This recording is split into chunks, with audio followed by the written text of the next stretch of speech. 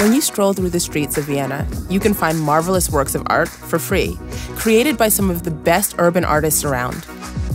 Welcome to our street art tour, where we will explore some of the most impressive murals in Vienna's 6th district and around the Danube Canal. We'll visit an urban art shop and check out the street art festival Calle Libre. It's eight stops with a total walking distance of about 45 minutes. Check out the description for more details.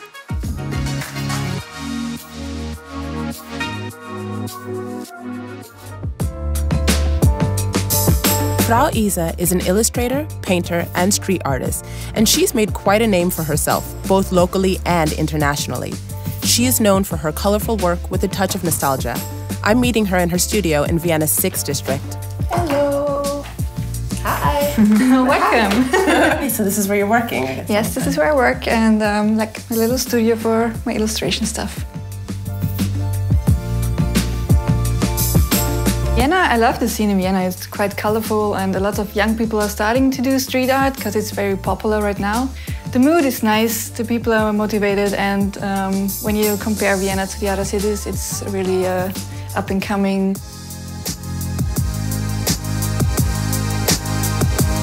so much more smaller things I like on street art, like some little funny sticker I on a sign or a, a really good tag on the door.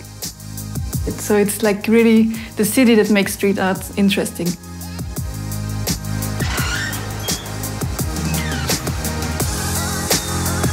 This is a little gallery owned by Nychos. He's a colleague of mine, a famous street artist. He's in my collective. And um, here you can go and buy some prints or t-shirts or little souvenirs or stickers. So it's a really nice place to look at street art in a different kind of way. Just an aesthetic thing to paint a woman, but I, yeah. I really like the, the, the, soul or the character. So this is actually one of your collaborative public pieces. This is stunning.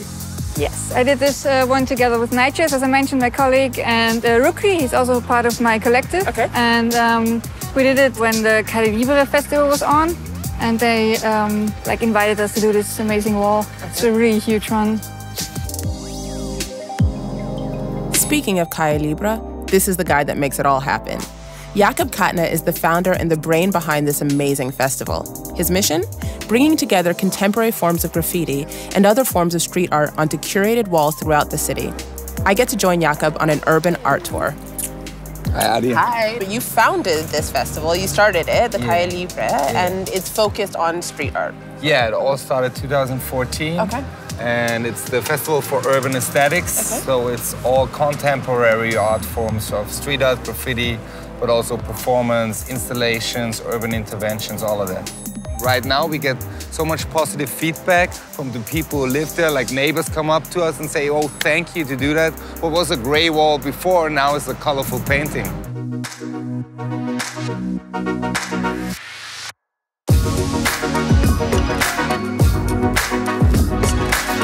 We try to change the public perception of graffiti and street art. We want to show these are serious contemporary art forms and not just tags, bombings, vandalism. This is one of the first walls. So this is Enivo from Brazil, a guy I met in Sao Paulo, and Stinkfish who paints those colorful faces. And uh, this is Koz Dos from Venezuela and he kind of also refers to the political situation right now in his country. So Calle Libre means free street. We say the street belongs to us, and so we want to claim the street.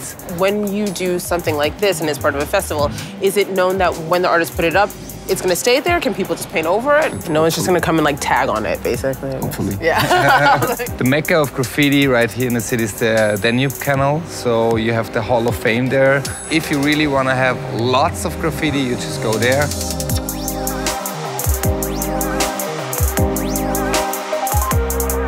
The next one is right over there. Yeah, this painting just was made recently. Um, it's by Peter Phobia, Austrian artist. Uh, he painted it for his girlfriend as a present, sweet. who lives now in New York City. That's really sweet. I want a present like that.